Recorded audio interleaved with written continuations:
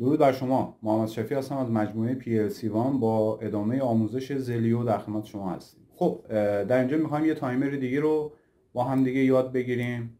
من یک ورودی می‌ذارم. برنامه شماره 14 یه تایمر اینجا قرار میدم. خب حالا کنتاکت باز این تایمر رو اینجا قرار میدم و خروجی رو out می‌کنم.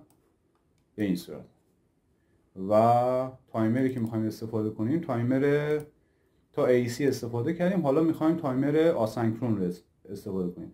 دوستانی که لوگوی زیمنس کار کردن مشابه این تایمر رو توی لوگوی زیمنس ما به اصطلاح داشتیم و اونجا استفاده می‌کردیم.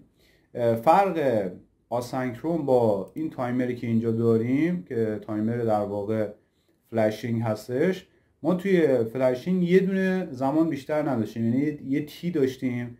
زمانی که شما enable تایمر رو فعال می‌کردی مثلا میذاشتی 5 ثانیه اینجا. وقتی میذاشتی 5 ثانیه می‌شد 5 ثانیه روشن 5 ثانیه خاموش 5 ثانیه روشن 5 ثانیه خاموش تا زمانی که enable غیر فعال بشه ورودی تایمر غیر فعال بشه اگر رو حالت صفر بود که خب صفر می‌موند اگر رو حالت یک هم بود صفر می‌شد.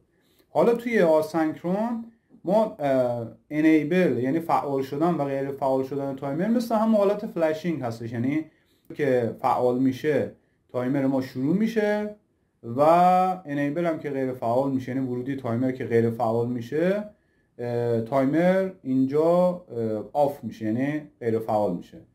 ولی ما دو تا اینجا زمان داریم. یه زمان T داریم که زمان روشن بودن هستش. و یه زمان TB داریم که زمان خاموش بودن هستش. برای مثال مثلا من می‌تونم زمان روشن بودن رو بذارم پنج زمان خاموش بودن رو مثلا بذارم یک. خب؟ ببین چه اتفاقی میفته OK می‌زنم. save simulation run و اجرا. ببینید من وقتی که فعال می‌کنم پنج ثانیه اینجا گفته که فعاله. خب؟ ببینید؟ بعد از 5 ثانیه یه ثانیه خاموش و دوباره سریع روشن میشه. یعنی زمان روشن و خاموش بودن یکسان نیست آسنکرونه یعنی می‌تونه متفاوت باشه. حالا اگر من بیام اینجا و زمان مثلا اینو بذارم یک خب اونجا یکه. اگر این کار انجام بدم انگار که تایمر آسنکرون خودم رو تبدیل کردم به تایمر flashing. ببینید من اینجا اگر برم روی حالت simulation با اینکه می‌تونستم زمان on off رو متفاوت بکنم ولی زمانشون یکسان گذاشتم. این الان در واقع انگار شده تایمر flashing یعنی زمان روشن و زمان خاموش بودن یکیه.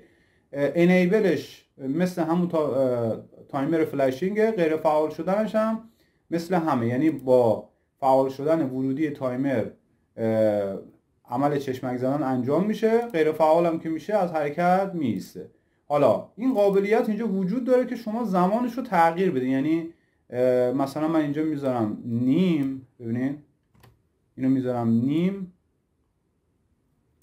اینو می‌ذارم صفر. خب. بعد اینو می‌ذارم یک ثانیه خاموش. نیم ثانیه روشن یک ثانیه خاموش. ببینید